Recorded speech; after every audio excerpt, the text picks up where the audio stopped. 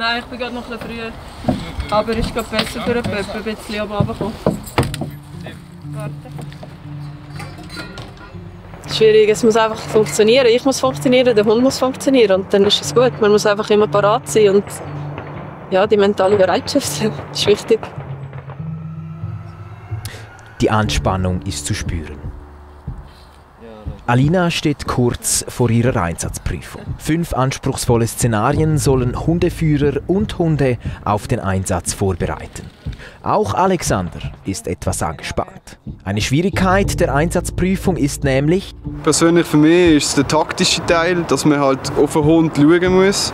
Gleichzeitig aber im Kopf halt auch noch die taktischen Hintergründe mit Schusslinien und den korrekten Verschiebungen muss beachten.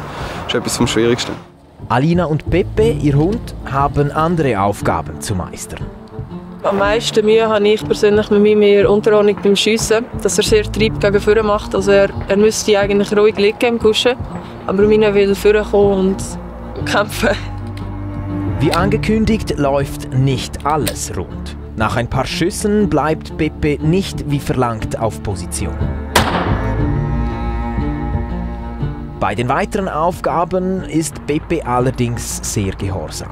Und so besteht das Team das erste Szenario. Es gibt aber noch ein bisschen Luft nach oben. Perfekt macht es natürlich, wenn die Harmonie zwischen äh, Hundeführer und Hund natürlich optimal kann präsentiert werden. Das wäre natürlich das, was ja, sehr wünschenswert wäre, wenn man das würde sehen. Korrekt vorgeführt, ohne mögliche Hilfe. Und ja, das wäre so das Niveau. Sowie die Hundeführer sind auch die Hunde nur im WK-Einsatz. Die Hunde führen den Rest des Jahres ein Leben im Alltag. Es bleibt also eine Herausforderung, in kurzer Zeit die nötigen Fertigkeiten auf Dienstlevel zu bringen. Ja, es ist darum wichtig, bevor das die Leute nachher auf die Objekte verteilt werden, um äh, die Auftrag zu erfüllen, dass wir eigentlich mit gutem Gewissen können sagen, doch, die Hunde mit den Soldaten, also das Team, ist einsatzfähig und ist fähig, den Auftrag zu erfüllen. Außerdem kann der Einsatz von Hunden eine Signalwirkung haben, wie uns Alexander erklärt. Ich glaube, als Abschreckung und Präsenz ist es doch sehr wichtig. Ich meine, es ist ein gesehen werden.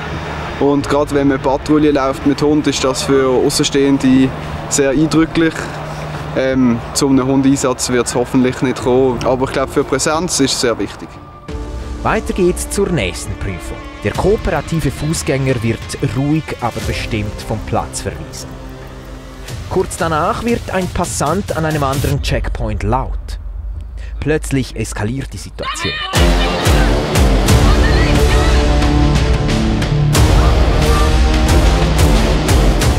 Das Fazit? Er muss ein wenig stark sein in der, in der äh, ich weiß nicht, der Prise. Im Biss, also im Äh, In der Beiß. Griff.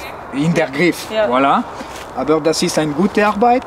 Äh, total ist eine sehr gute Arbeit mit 37 Punkten. Merci. Bravo. Aufgabe 4. Ein Figurant flüchtet in den Wald. Die Hunde suchen den Verdächtigen und signalisieren dessen Versteck.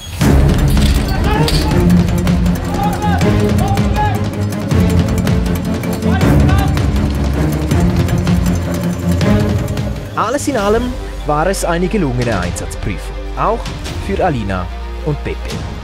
Gut, also eben, ich habe mit der Unterordnung angefangen, die war nicht der Hammer. Gewesen. Und sonst war es wirklich gut. Gewesen. Also, er hat die Arbeit gemacht, die er hat müssen.